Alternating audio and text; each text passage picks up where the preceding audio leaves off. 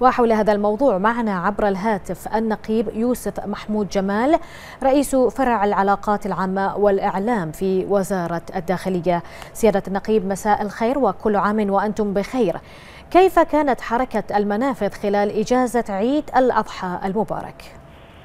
مساء النور أختي شاكر استضافتكم في برنامجكم.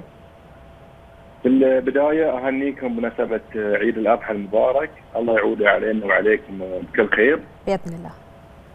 وحج مبرور وسعي مشكور وذنب مغفور للحجاج، أما بالنسبة عن حركة المنافذ فشهدت انسيابيه حركة المسافرين على الرغم من إحنا استقبلنا اعداد كبيرة من المسافرين القادمين والمغادرين من مملكة البحرين وذلك بحكم تزامن عطلة الصيف مع عطلة عيد الأضحى وتم ذلك الله ومن ثم التخطيط المسبق.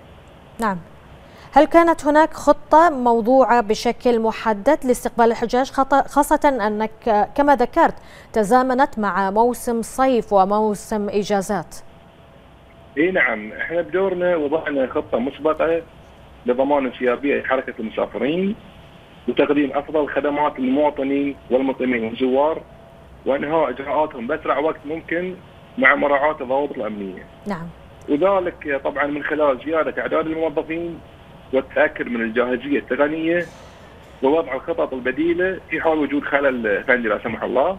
وطبعا دائما الجهود تكون مضاعفة خلال هذه المواسم اللي تكثر فيها حركة المسافرين. نعم النقيب يوسف محمود جمال رئيس فرع العلاقات العامة والإعلام في وزارة الداخلية شكرا جزيلا لك